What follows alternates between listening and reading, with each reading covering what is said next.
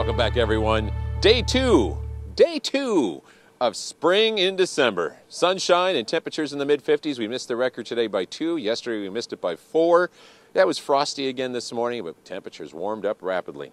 Clouds have moved in. That's change number one. There's some time for the sunset. Temperatures have dropped about 10 degrees with the southeast wind coming off the lakefront. Uh, and, well, the storm is on the way. It is now in the southwestern corner of the United States. Friday afternoon looks to be wet. It is beautiful out right now. Mid 40s, light wind. Tomorrow at this time, we're talking 30 mile per hour northeast winds and rain blowing sideways. Oh, it's going to be great. Uh, Saturday, snow and 30 to 40 mile per hour winds winter, just like that, after two very nice days. You are more than likely going to be uh, shoveling or snow blowing on Saturday, and not that the snow will still be falling on Sunday, but I put maybe there just because you might put it off until Sunday to shovel and snow blow.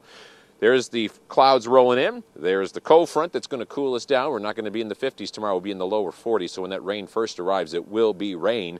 Uh, I should say that storm system arrives. There is the low pressure in the panhandle of Texas. Snow showers uh, northwest of Albuquerque and Santa Fe.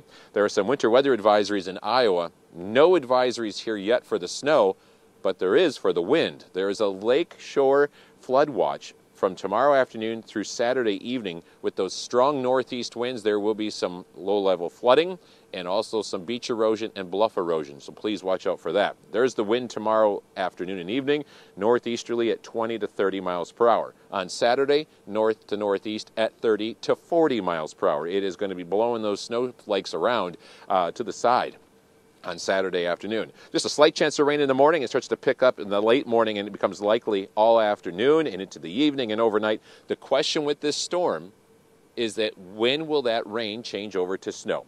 Well, it'll be raining for the kids in the afternoon. Not the morning, it'll be cloudy and 37. Rain showers likely and a strong wind in the afternoon. A high temperature tomorrow 43, so at least 10 to 15 degrees cooler than it has been the past couple of days. We know it's going to rain the precipitation in this storm anywhere from a half inch to an inch or more. So that would have been about a foot of snow in some locations if it was all snow.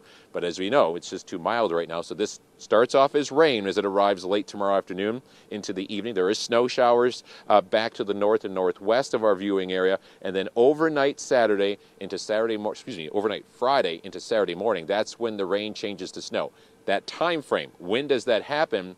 Dictates how much snow we get. I'm going to keep the snow totals of around uh, two inches along the lakefront, maybe a little less down toward the state line, and two to four elsewhere. There could be some isolated higher amounts in this west and north of Milwaukee. Once again, it all depends upon when this storm system uh, starts to change from rain to snow. There are computer models yesterday that were saying three to five.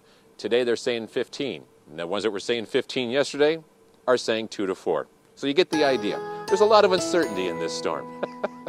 it's going to be a wet storm, though, and a wind storm as well. 43 tomorrow with temperatures dropping in the evening and that rain changing to snow. 37 on Saturday. Look for about two to four inches of snow, and then breezy and a little bit of sunshine on Sunday. And then another couple of chances for some snow on Tuesday and Wednesday of next week. We might just have a white Christmas after all.